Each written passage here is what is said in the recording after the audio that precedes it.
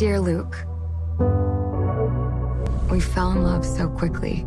I figured I'd write you and fill in the gaps that we didn't have time to fill.